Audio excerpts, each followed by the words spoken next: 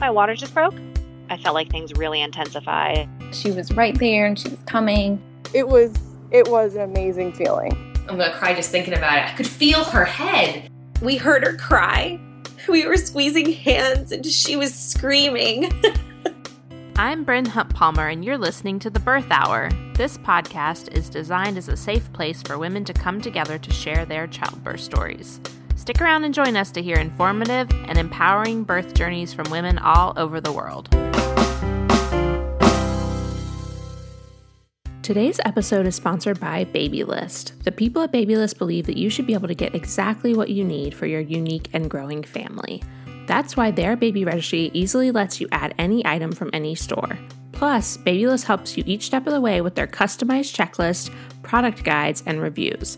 And their personal registry consultants are there for you whenever you need. They've even got group gifting. Start your registry today to be eligible for a free Hello Baby box of goodies for baby worth over $100 while boxes last. At the end of this episode, I'll be talking to Sarah about her experience using Babylist. If you're new to the Birth Hour, you may not know that we have a Patreon group. This is where listener supporters can pledge $5 or more a month to help support the Birth Hour and its mission. If the Birth Hour has added to your life in some way, we would love for you to consider supporting us by going to patreon.com slash birthhour. All of our listener supporters have access to bonus content, as well as an exclusive Facebook group created just for you. The members of that group are so amazing, and the support we give one another there has had such an impact on my life, and I know it has for so many others who find our group to be a safe place to ask questions, share concerns, and get genuine and loving feedback from those who have been where they are or are going through something similar. We also do regular Zoom calls in there as well. So again, if you head over to patreon.com slash birth hour, you can get started and show your support for the birth hour. I will link to that right in the podcast app show notes as well, and you'll be able to see all the different perks you get at the different levels, including our co-producer level, which is $10 a month and comes with access to our second podcast, the Partner Podcast, where my husband interviews partners about their perspective on pregnancy, birth, and postpartum. That podcast comes out every single Friday for our co-producers via Patreon. So again, head over to patreon.com slash birthhour, and we would love to have your support. Today's birth story guest is Mabel, who is sharing about having a vaginal birth after having multiple fibroids removed from within her uterine wall. Hi, Mabel. Welcome to the Birth Hour. Thanks for being here today. Thank you, Bryn. How are you? I'm good. Can you start by telling listeners a little bit about you and your family? Sure. Um, my name is Mabel Bashorun. I live in Northern Virginia with my husband and my son. Uh, my husband, Tim, works for the government, and I am an education specialist for the local school county. And um, I have a five month old baby boy. His name is Simi. Great. And I know we want to hear a little bit about um, your journey to becoming pregnant. So let's start with that. Sure. So my husband and I got married um, back in 2013, and um, we decided upon after getting married, we decided that we wanted to wait a year before um, we tried to get pregnant. And so um, a year came and went, and actually, um, he got a job offer to work for the government. And upon doing so, he had to go through an elaborate medical uh, review because there was an opportunity to travel abroad. And so he went for his medical physical, and I had to go for one as well. And when I went for my physical, um, the report came back that I was extremely anemic, which I had already had some idea that I was anemic, but the doctor made it seem as if like she was shocked that I was still walking and talking because my blood count was really low. And she suggested that I go see a gynecologist to see what exactly would have caused me to be so anemic. So, upon going to um, my OB, um, I found out that I had several fibroids. And um, it really shocked me that I had fibroids because I'm African American and a lot of my um, friends, especially their moms and aunts, all had fibroids, but they were all considerably older. So I was a bit puzzled as to why I would have um, fibroids at such a young age. I was extremely unaware about what fibroids were and how they worked. And so she did give me the option to um, what they call watch and wait. You know, she said they weren't too big, but they were at a point where they could be problematic, but it shouldn't impede on my um, TTC journey. So my husband and I decided to just um, watch and wait, and hopefully, I would get pregnant before they were problematic. And if I did have to attend to them, we would do so later. So we began to um, try to get pregnant after that report. And at the same time, I had um, one of my good girlfriends had gotten pregnant and she had fibroids too. So we are both looking at each other like, hey, this is, we're in this together. But um, her case was quite extreme. It, it, it left her bedridden for her entire pregnancy. She was in and out of the hospital all the time. And seeing her go through that made me feel like I didn't I didn't want that for myself if I was to become pregnant and I still had the fibroids. So my husband and I sat down and talked about it, and um, I decided to um, go in for a myomectomy, which is um, the removal of a fibroid. And my doctor said that um, I was a good candidate for what is called a laparoscopic myomectomy, and that is um, essentially a robotic procedure. Um, there are two types of myomectomies. There's one that's abdominal, which is akin to having a C section. They cut you um, just as they would if you were having a C section, and they will take it out. And usually that's for like really big fibroids or multiple fibroids. Um, I had about maybe five detectable fibroids, and they were ranging between three centimeters to 10 centimeters. And my doctor said that um, if I wanted to give it a shot, she can try for the laparoscopic myomectomy. And I like the idea of the laparoscopic myomectomy because um, the recovery time was quicker and it was less invasive than an abdominal uh, myomectomy. And so um, we decided to go with that. And so I was scheduled for my myo in June of 2016, and they removed about seven fibroids, although they detected five. When they went in, they realized there were more. And so they were able to successfully remove them.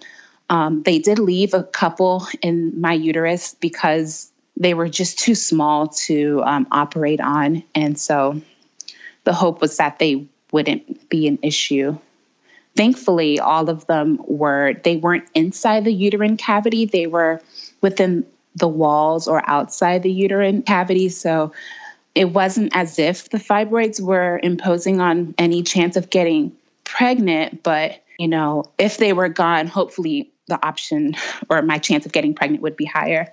So um, my recovery from the myomectomy was very smooth. Um, after two weeks i was back at work I just feel very fortunate that I had a really good procedure done and um, I was able to just resume with my normal activities shortly after. Um, and my husband and I decided to wait a little longer so that I would um, heal as com- as completely as possible.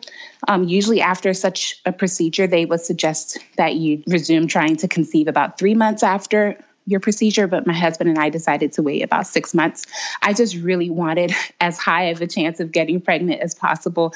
And then also, um, I felt that the longer that I would wait would give my uterus a chance to heal. And so that if I wanted to have a vaginal delivery in the future, I would have a greater chance to do so.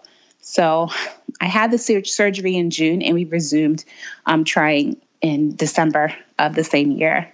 And I would say we were actively trying to get pregnant come December. I feel like before we weren't really paying attention to cycles and ovulation and, and so forth. But when we gave ourselves the green light, I was very much aware as to you know, temping and OPKs and scheduling. I had an app that I was using actively, and so I was I was very much aware of the of the process then before nothing happened after we started trying. Um, as detailed and organized I was in my pursuit, it just just wasn't wasn't happening. So I decided to go see an RE, and he we did everything. I they checked me they checked him and they insisted that everything was fine. Even little fibroids that were left weren't problematic at all. And they just kept saying you know just keep trying. And so we kept trying and we went back a few months later and i was like am i doing something wrong? Is there anything that we can do to help out with this? Um, and my doctor said that we could try Clomid. He didn't feel as if I needed to, but I was like, okay, I'll give it a shot. And I did. I was on Clomid for about two months. And I, I would say for me, the side effects were really wonky.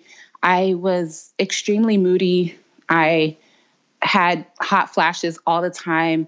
I was extremely, uh, I don't know, I just felt like really, really emotional when I was on Clomid. And um, after two months of trying it, I was like, this is not for me. I, I don't want to do this anymore. So we got off Clomid. My doctor offered for us to try timed intercourse. And um, at that point, I after the Clomid, I was just like, I don't want to go through the medical cycle. I just felt like maybe if I gave myself time, it would happen. But at the same time, I was just very confused like maybe this is the route that I have to take. And so we agreed to the time intercourse and they sent all the medication to my house. But when it got here, I just couldn't do it. Like I just took them all out of the box. I read everything. I sat down and and I I just didn't feel like it was for me. So what I did is I just put it in the fridge. Um, I put a, the progesterone and the the I guess it's the syringe in the fridge. I think they had to stay refrigerated, and I just said, okay, I'll give myself a few more months. I know I have all the directions. I have all the the the tools and meds in front of me. If we don't get pregnant, then I'll try the timed intercourse. At this point, my RE just left it up to me and my husband. He didn't provide any more counsel, or at least we didn't seek his counsel. But um, I wasn't ready to, to do the timed intercourse, but I held on to it just in case. So um, all of this is happening. I guess I should say this is the year 2017. Um, we went on with trying to get pregnant. Nothing was happening. And finally, I told my husband, I was like, hey, if we don't get pregnant by December, at the end of the year, December 2017, we'll go back to the RE and we will talk about not just the timed intercourse, but we'll talk about maybe IUI or IVF. And my husband was extremely supportive. He was quite relaxed about the whole thing. I was the one who was anxious, but he was like, you know, it's whatever. I believe we're going to get pregnant. You know, just continue to pray and be hopeful. But um, he agreed. He's like, okay, if that's what you want, we'll do that. So November 2017 comes. I get my cycle. And I'm like, okay, I have one more month to get pregnant. At this point, I kind of resolved in my mind that we were going to have to go the medicated route. And by that time, I was okay with it. But uh, November came and went. December came, got my period, and I was like, okay, this is my last chance to try. My husband and I, you know, we we gave it our shot, and um, and I just had to wait. I, I feel like sometimes for women who are really anxious about trying to get pregnant, we're always like online or in the forums and group chats with other women listening and reading what worked for them, what didn't work. And I remember um, you know, after being online and reading stuff over and over again, I just was like, okay, we we really tried this month. Let me take a pregnancy test and see what happens if I get a very very very faint line or something. And I tried a pregnancy test just to see. This was like maybe like a week after um, I had ovulated, and I had nothing. Nothing came up on the pregnancy stick, and I was like, okay, it's over. Like we're just going to start with a new year, new me, new baby. And I let it go. And so my period was due at the very end of December. I have very short cycles. And um, the day that I was expecting it to come, it didn't come. Um, and for me, I was like, okay, I'll give it a day because you know I may have timed things wrong. Maybe I was I was off a day or two. So I waited another day, and nothing came. I didn't even feel as if my period was going to come. And something deep down inside told me, like, girl, you are pregnant. you are pregnant. And another part of me was just like, this is too crazy. It just, it just can't be. And so another day came and went. My period didn't come. And I was very scared. I was very nervous to take the test because I was like, maybe my body is playing tricks on me, or maybe I really am pregnant, but I can't believe it after all this time. Mind you, we it had been maybe three years after uh, we had gotten married, and I had never had a positive test. And so finally, I went to the store, I bought the test, and um, I didn't take it right away. Of course, I scoured the internet researching about like, is it possible for you to miss your period, but you're not pregnant?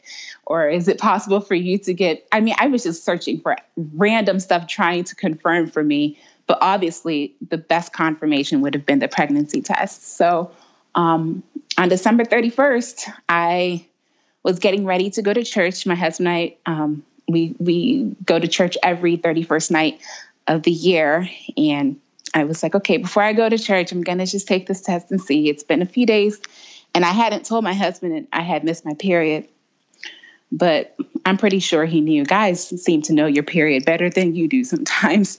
But um, I took the test, and I tell you, before the indicator got the urine got to the main part of the indicator, it was bright, two bright lines. And I just looked at it and I was like, well, of course you're pregnant. You've missed your period for a few days. You've been trying so hard. Of course you're pregnant.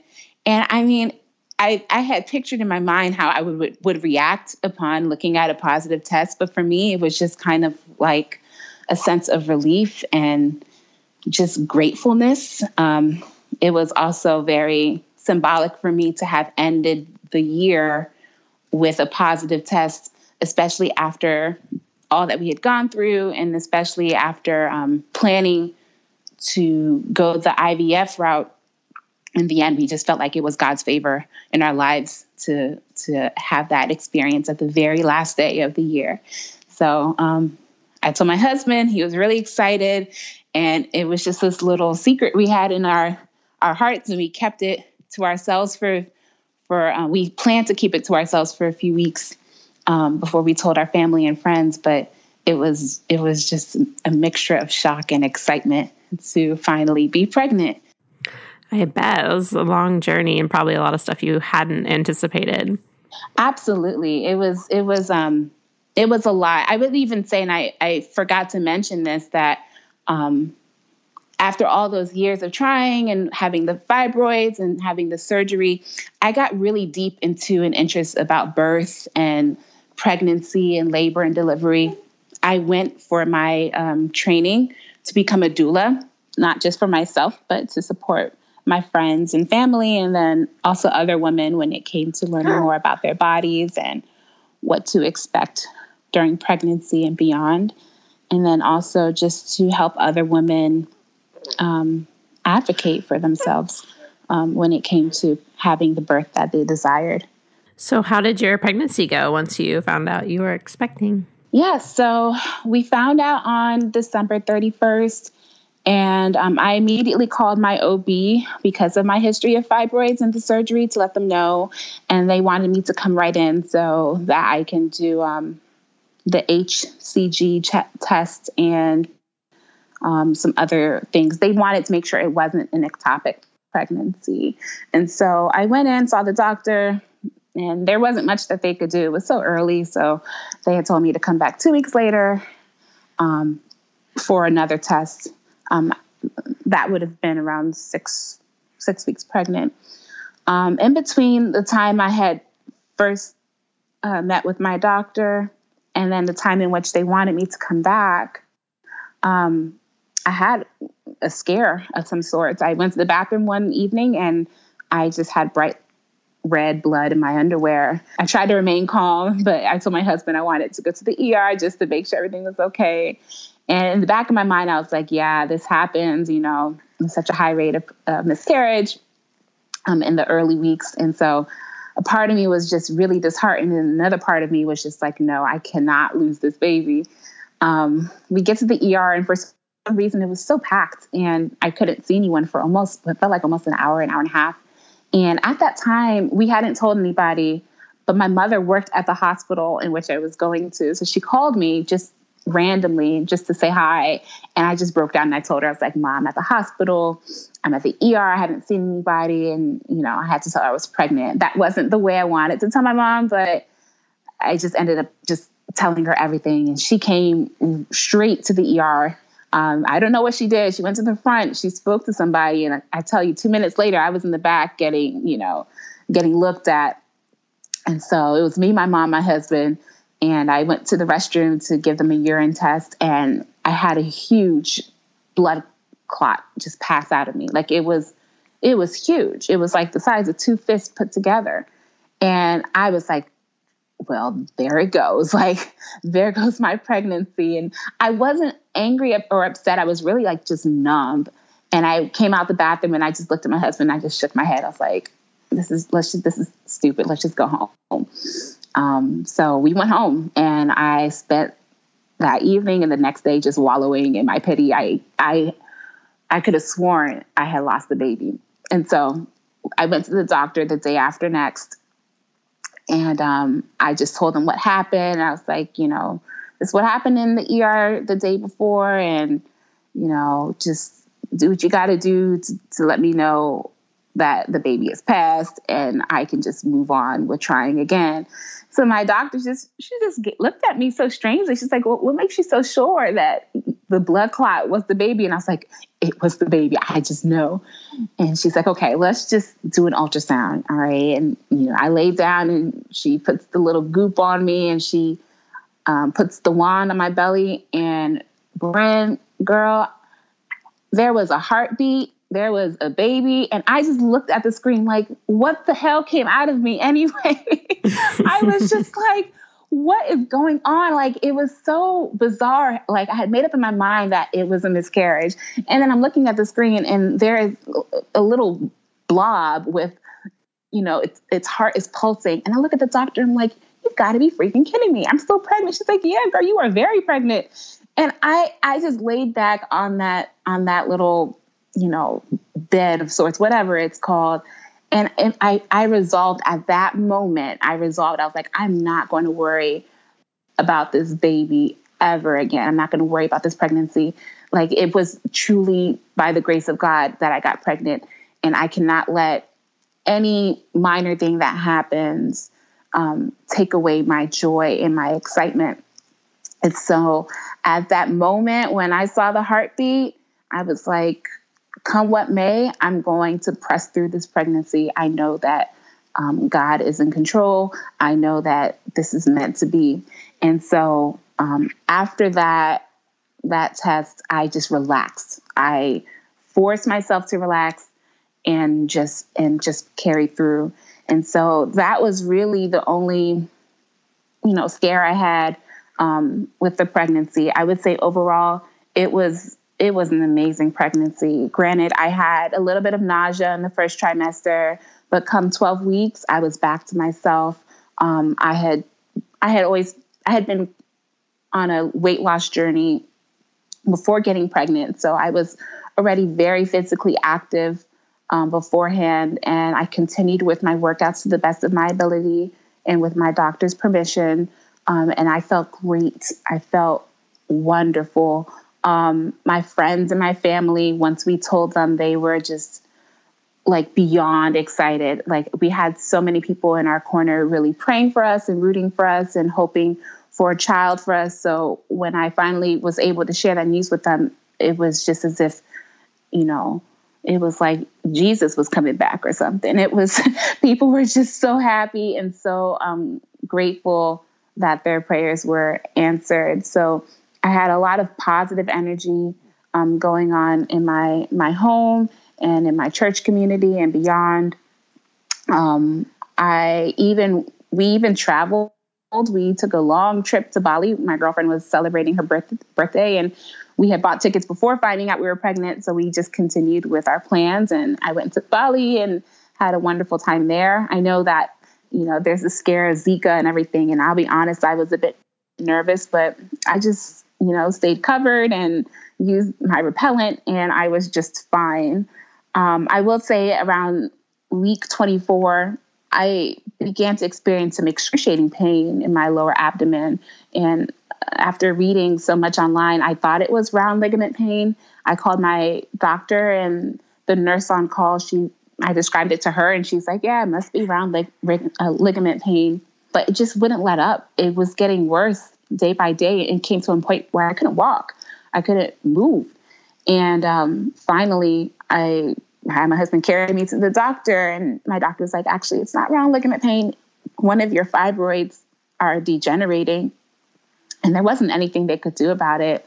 Um, fibroid degeneration is just when it begins to break down in your uterus, and for some women, it's problematic. For other women, it's not. And for me, it was just extremely painful. It lasted for about a week, and then I feel like just one day it was gone. The pain was gone. For for a minute, I I thought I had made up the pain in my head because it came and went so quickly. But um, that was the only time I had issues with my fibroids, and um, I was at home for about a week, and then afterwards I was back to to my daily routine. Around week 28, I went in for my GD test and I was positive. Um, I had gestational diabetes. And um, I was kind of upset because I felt I was very misinformed about what GD was, even with what I've read about it. I didn't fully understand it. I was kind of bummed because I just felt like, you know, I had a healthy lifestyle. I shouldn't have GD. And then I had it. Um, so I had to go on a diet to control my blood sugar um, for the remainder of the pregnancy. It wasn't fun at all. I didn't like doing it, but whatever I had to do for the baby, I just pulled through. Thankfully, I my one of my very close girlfriends was pregnant as well, and she coincidentally had GD, so we were both, you know, moping about it together, and it just seemed a bit easier going through through that part of my pregnancy with a friend, especially if she had the same issue. But um, it, I would say the bonus of having GD was that it helped me regulate my weight gain and stay very in tune with my body.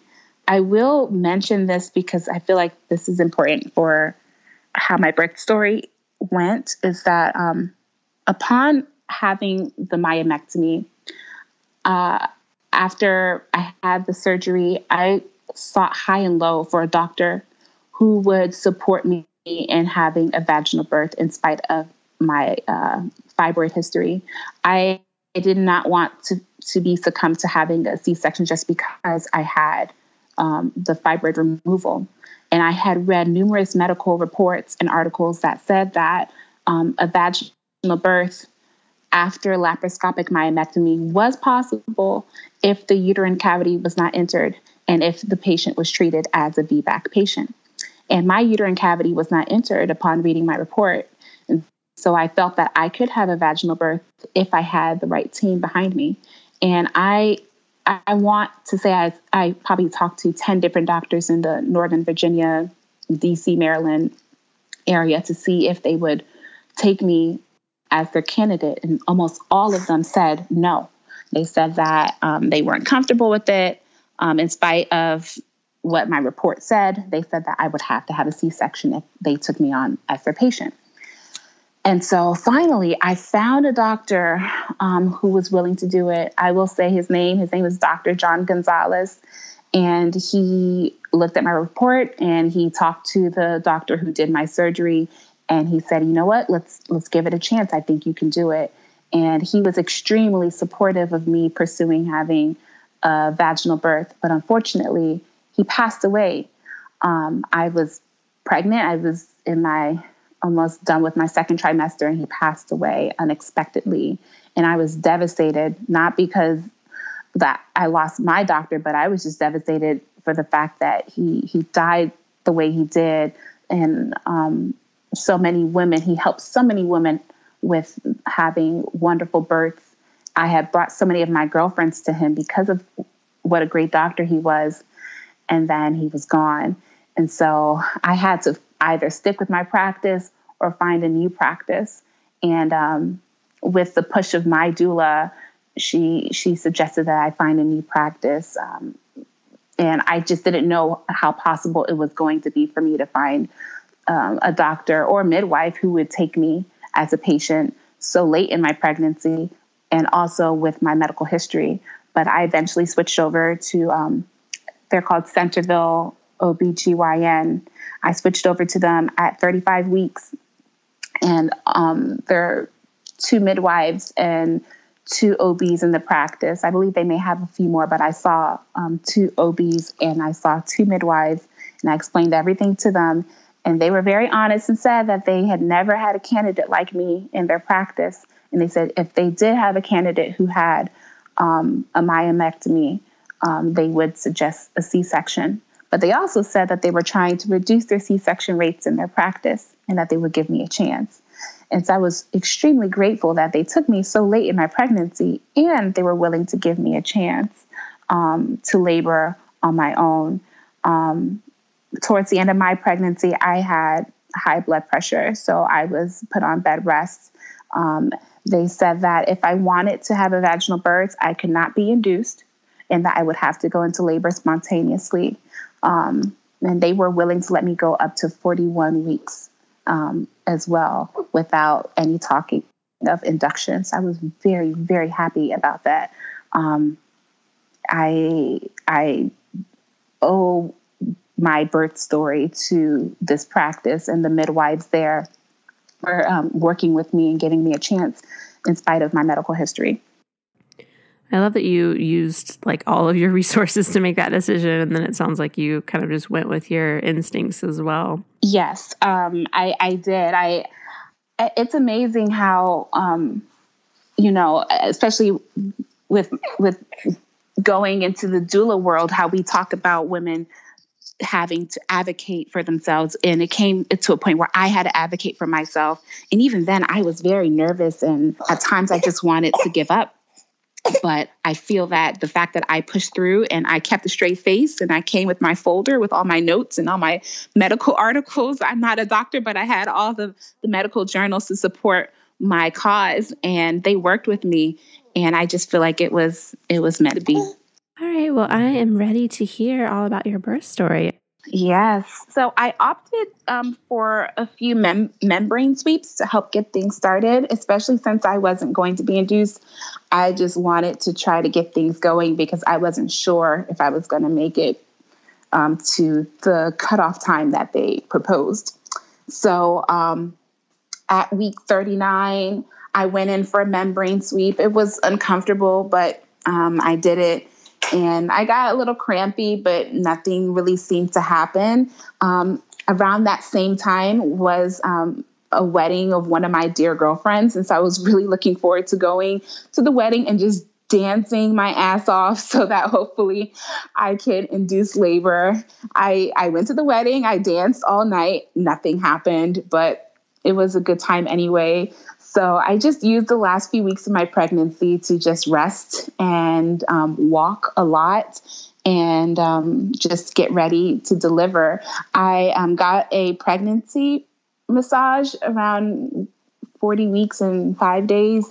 Um, the masseuse is also a doula, and she came to my house and she she took very good care of me. I had never had a massage like that, um, and we talked at length about um, what to expect for the delivery. Um, she showed me how to do a few belly lifts, which were a bit uncomfortable, but hopefully that would allow him to settle into my pelvis um, and you know just be ready to give birth. Um, I did a lot of walking. I experienced a lot of Braxton Hicks, and yet nothing happened. Um, but I will say my knowledge of birth just kept me very observant every day. I was paying very close attention to my body. And um, one night, the night before I went into labor, I was feeling very uncomfortable in our bed. So I told my husband I was going to go downstairs and sleep on the couch. Um, and I did that. And I woke up around 2 a.m. Um, that morning, and my Braxton Hicks seemed very regular. They weren't painful, but they just seemed to be coming at a regular time. And I was like, all right, girl, this is it. I just knew that I was going to get going to be in labor or I was experiencing early labor. And so around 6 a.m., when my husband came downstairs, I told him, I was like, you could go to work and then I can call you to come back, or you could stay home. It's up to you. But I feel like today is the day. And he said he will go um, to work and that I should call him. Um, I had also had a membrane sweep planned for that day anyway. So my mother in law was going to come and take me to the doctor. Um, but by eight o'clock, nine o'clock, I was like, I'm not going to the doctor. I'm going to the hospital today. And um, I called my husband. I told him to come back. He came back home. And around the time he came back home, my mother in law pulled up as well. And um, I, I told him that I, I, I didn't, you know, that he should call my mother in law and tell her that, you know, I canceled my appointments so that we can kind of give myself a chance to labor at home by, you know, by myself without interruption. But I guess that phone call never happened. So I ended up laboring at home with my husband and my mother-in-law present. My poor mother-in-law, she she didn't know my plans um, to have an unmedicated birth, so she was a bit puzzled as to why I didn't go to the hospital at the first contraction. But she was very um, kind and quiet as I labored by myself. My doula couldn't make it to my house because she was with another patient. So she sent her backup doula and an additional doula to shadow. So I had two doulas in the house my mother and my husband. Um, and my doulas were amazing, Kathy and Jamie. They um, walked with me, they helped me do belly lifts. Um, we um, were going up and down the stairs. I was in the tub, I labored in the shower. Um, I did everything to kind of keep things going. We called the hospital several times, but they were actually booked. There were no rooms in triage, there were no rooms in labor and delivery. So I had to stay at home and labor on my own anyway. Um, and this, I was at home for, you know, I would say if, if I really started paying attention to my contractions, it was around 8 a.m. And um, the time that we decided to go to the hospital was around 4 p.m. So I was at home for a while. And um, I had one contraction that was back to back and it was extremely painful. And I was like, no, we got to go. So we packed up everything. We we headed out to the hospital, and by then triage was um, not as busy. And um, we get there, and my mother meets us at the hospital as well. My mother is a nurse, and um, you know, when you go into triage, you're only allowed to go in with your spouse. But I don't know. My mom just kind of walked into triage with her nurse badge. No one really questioned her as to what she was doing. And she just walks into this hospital as if she works there. And I turn around and my mom is there. And I say all this to say because um, I, I personally just wanted to go through this with my husband and my doulas. My my family, um, they could be quite. Uh, they could hover.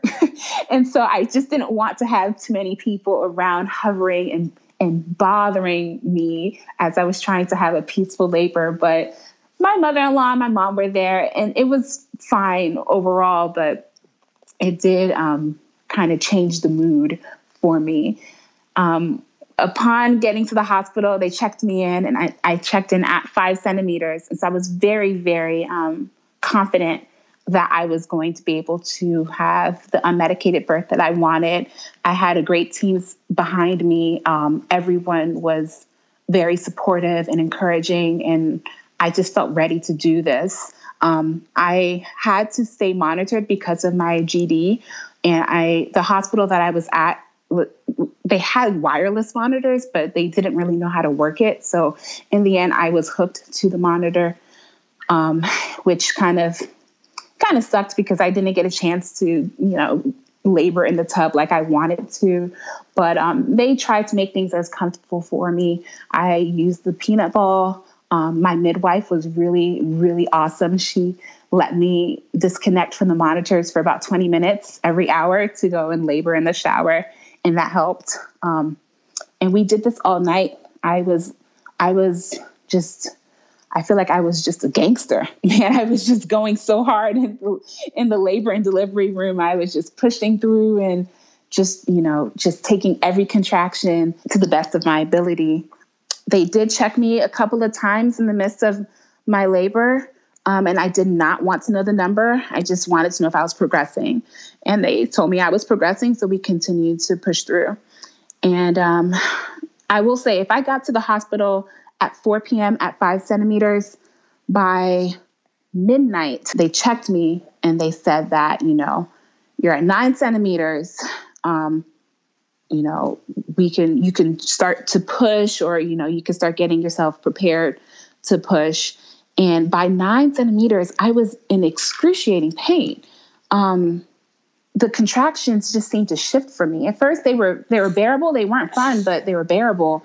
But by that that nine centimeter mark, it was like something was taking over, and I I I was assuming, okay, maybe I'm getting into transition, but they were unbearable. So I asked for um, the laughing gas. The hospital had the laughing gas, and they brought it. And um, I just couldn't keep the contraction on my face to inhale um, the, the, the solution, whatever it is. Um, it just, and when I was inhaling, it just didn't seem like it was doing anything for me. I feel like um, the gas just made me extremely delirious. I, I felt very out of it, almost drugged to an extent. And um, my husband would tease me and say, like, I was just muttering things that were, that just made no sense. And so um, eventually I just told them to, to take the gas away from me. And by that time, I feel like not only was I loopy, I was also still in extreme pain. Um, and I was extremely aware of the pain that I was in. And so my midwife said that if she pushed my cervix back, um, she would be able to get the baby in a certain position for me to push. The only way she can do that is if she she had to move my cervix while I was having a contraction. So I gave her a chance to do that.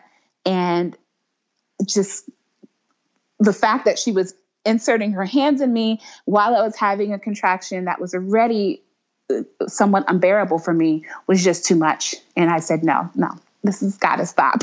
At that point, I was like nine and a half centimeters. And I just told my husband, I was like, this is it, man. I've, I've been here since 4 p.m. the day before. It's now 4 a.m. I I have I have to give it up. And so um, I got the epidural, and I personally would say I I I don't want to say I felt defeated, but I just felt like I just didn't understand why I had to get an epidural so late in the labor. I was just barely there, and I had to give in for the epidural. Um, because I just couldn't go anymore. I had been laboring all day, all night, and I just didn't have any more strength in me.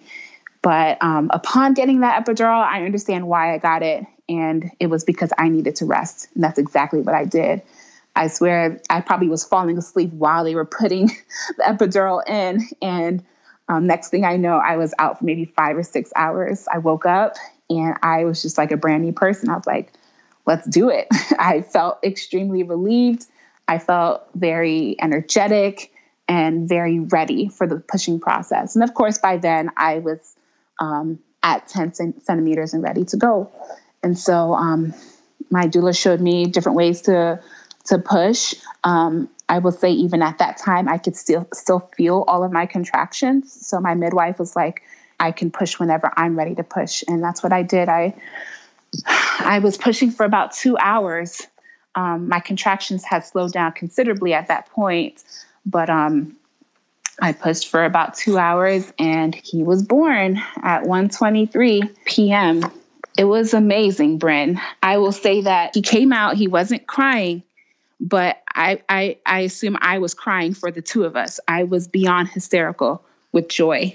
Like, and I remember my the first the first the first thing I said is like, I can't believe I did it. Like, I I remember just saying, I can't believe I did it. Like, I can't believe not only that I was pregnant and and had labored, but I can't believe I pushed him out of me. And I felt everything, even with the epidural. I feel like at that point it had worn off, excess, you know, it had worn off. Um, and I just was, I think I could have fallen out the bed with how hysterical I was. I was sobbing and just overcome with emotion. My eyes were like so blurry with tears. I couldn't see anything. And it was just an amazing moment for me, just like after the, the past five years having had gone through everything that I went through, I finally had my child and I had the birth that I wanted. Um, and I was just extremely grateful. So um, I cried for myself. I cried for him, and eventually he started crying, and I and I was uh, able to kind of just like you know, relax and sit back and just like kind of take it all in. My midwife prompted me to um, to be to begin pushing for my uh, placenta to be delivered, and um, I pushed a few times, and my placenta came out. And then right after it came out, I remember looking to my husband, and I'm like blinking I'm blinking excessively because uh, you know I'm thinking, oh, maybe my eyes are still, you know, teary from crying so hard. And I was trying to wipe my eyes, I was trying to blink, and I couldn't see clearly. Everything was really blurry. And I telling my husband, I was like, I really, I can't see anything. He's like, Well, what are you talking about? I was like, I don't know. And I keep rubbing my eyes. And then I just like close them and I put my head back on the pillow and I try to open them again. And not only were my eyes still blurry, I felt very dizzy. And so I'm like trying to look in the direction of my um, midwife. And I told her, I was like, Chloe, I don't feel so good. And she's looking at me and she looks down. And I, I kind of like try to pull myself up to kind of see what's going on in between my legs. And I feel like, you know, we both kind of looked at each other. My midwife, Chloe, looked at me and I looked at her and she kind of brings her hands up and her hands were just like soaked with blood. It was as if like it was a murder scene or like a horror film. Like her her arms and her wrists and her hands were just completely bloodied. And I I turned to my husband and he looks back. He tries to poke down where my, you know, where, you know, in between my legs. And he looks at me. He's like, Are you okay? And I'm like, No, I'm not okay. And I slowly close my eyes and at that point, I don't remember much of what happened, but from what my husband and my midwife and OB told me was that I began to hemorrhage excessively. And she was very grateful that I told her I didn't feel so well when I did because, you know, um, that's when the hemorrhage began. And she was so busy attending to other things, she didn't really see it right away. But my husband said that it was like someone was just pouring out bottles of water, for, for, bottles of water, bottles of blood from in between my leg. He said that's how how much was pouring out. It was just spurting out of me, and um, eventually. Um, a team was called in immediately to come and handle things. And after an hour, they got everything under control. Um, I did have to get a transfusion. I got two bags of blood. Um, and my OB and midwife worked together to help stop the bleeding they put a balloon inside my uterus to kind of press against the walls of my uterus to stop the bleeding from wherever it was coming from because they weren't sure where it was coming from. It started when I delivered the placenta, but it wasn't necessarily um, from that site. So um, the balloon was placed in there and had to stay in there for 48 hours um, to make sure the, the bleeding stopped. So that was something I wasn't expecting, and it was quite scary. But um, thankfully, we had a team that worked um, quickly to help assist in that.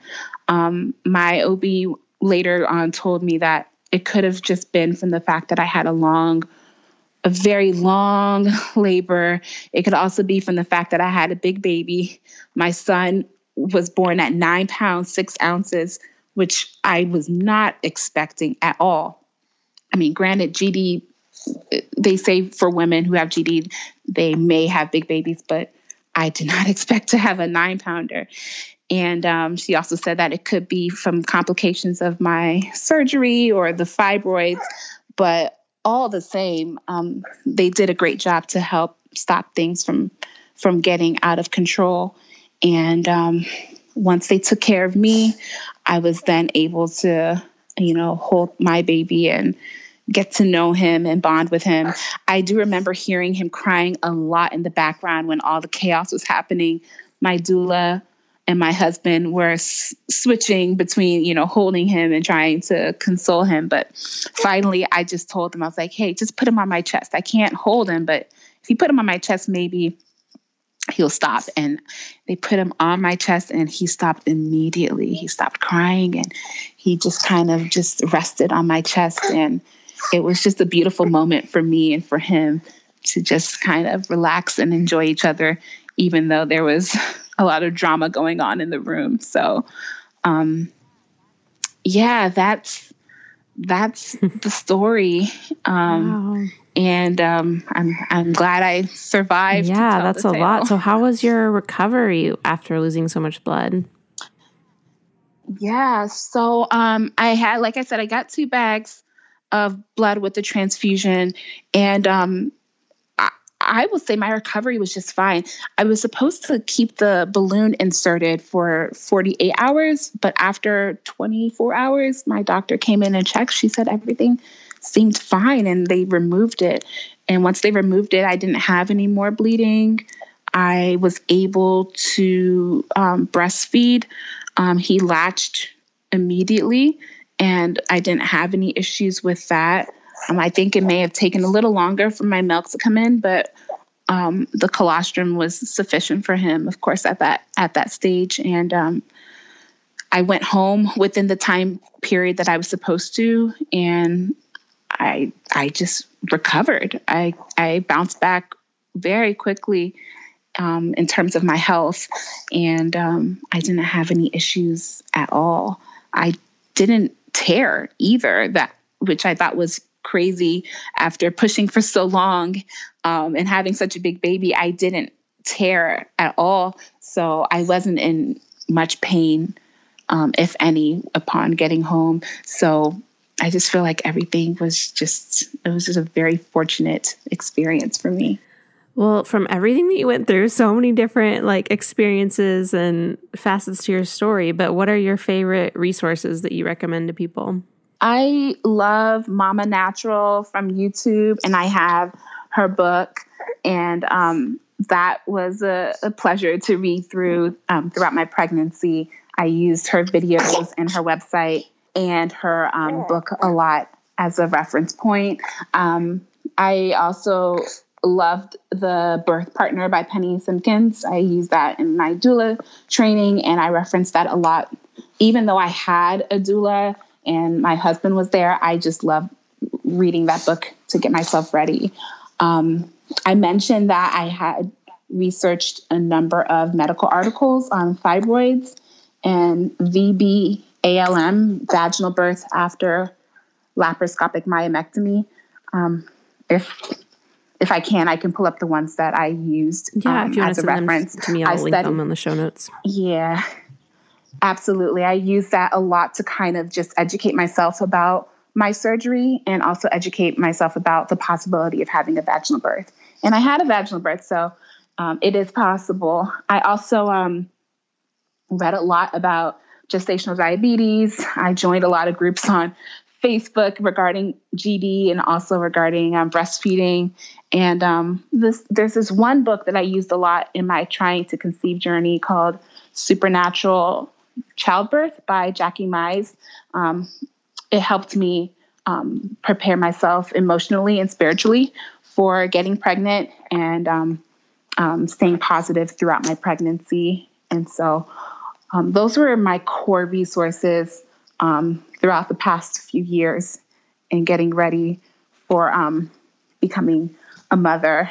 I will also say that uh, just, you know, using Baby Center and other, you know, mo- uh, popular apps on my phone were helpful in knowing how the baby was growing and such. Yeah, those are super fun.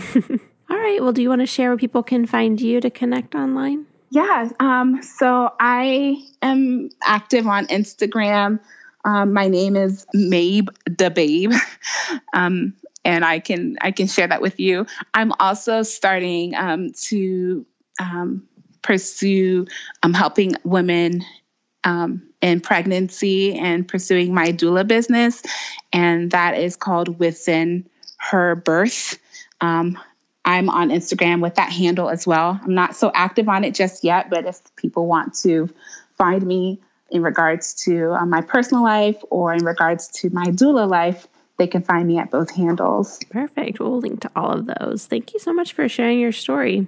Thank you. And Brent, if you don't mind me just saying this final thing, um, as an African American woman and knowing what the statistics are when it comes to maternal mortality, um, I felt that my story was very important for other women, especially Black women, to know that they can stand up for their rights and they can stand up for their desires, and that they should not give up when it comes to having the birth that they want and having the um, the experience that they feel they deserve when it comes to pregnancy and delivery. And um, I know that when I was researching about having a vaginal birth online, there were very slim to none um, stories about women who had um, a vaginal birth after a myomectomy. And then I know when I was going door to door finding a doctor, it was extremely difficult. And I almost gave up, but I was very fortunate to find someone who would support me. So I do believe that you can have what you desire when it comes to your birth, but you must persevere and you must do your research and you must ask questions. And if you're not getting the response that you feel that you deserve from a certain practice, it's okay to find somebody else. And um, I I just feel very blessed and fortunate to have gone through what I've gone through, even though I had a scare post delivery. I think having the right team and having the right um, practice um, behind me made everything possible and made everything successful. And so I, I just believe that the birth hour, and I should have mentioned this, the birth hour was another resource for me when it came to um, listening uh, to other women's stories and just being inspired and encouraged by what other women have gone through um, in regards to having the the desire that they wanted when it came to birth and I think that it can be the same for all women, especially Black women, in spite of what's going on in this country and how the odds may look against us. I think that um, just hearing more and more stories about women who are having successes um, when it comes to delivery will kind of inspire them to just push through when it comes to having what they want. So I would I would like to say thank you for for the work that you've done because it's helped me in just staying positive and pushing through, even though I didn't get what I wanted initially. I got what I wanted in the end. Thank you so much for sharing that and yeah. um, and for bringing up the you know racial disparities in childbirth. We covered that on a past episode. I just looked it up, episode two thirty three, with Denene Millner, who shared her experience mm-hmm. as well as mm-hmm. you know some of the ProPublica um, coverage on the topic. And so I'm glad that you brought that up and always am trying to Absolutely. share more and more stories that address those things. Right. I remember Denene's story too, and I listened to that several times. So um, I think it's it's it's great that uh, women of all backgrounds are are sharing their story, regardless of the outcome. It's important that we we hear from each other and use that as a personal reference. Definitely. Well, thank you so much again, Mabel. I really appreciate you sharing your story with us. Thank you, Brandy. You have a great one. Now I'm going to chat with Sarah about Babylist, today's sponsor. Hi, Sarah. Thanks for coming on the podcast today to chat with me about Babylist. Hi, Bran. Thanks for having me. Can you tell listeners just a little bit about you? Yeah, absolutely. So, my name is Sarah Rainwater. My husband and my two kids, and I live in Prescott, Arizona. We just had our second baby. He's seven weeks old. So I'm pretty fresh on all the baby products. We're small business owners, or I, don't like the term small business. We're we're self-employed we're business owners so anyways we're fairly busy folks and having two little ones under two they're only 18 months apart it definitely makes us grateful for products like babylist when it comes to planning, you know, like a low key baby shower like we did with our second. So anyways, I mean just kind of busy folks, but but definitely enjoying the parenthood aspect of things as well. So did you use Babylist with your first or just started this time with your second?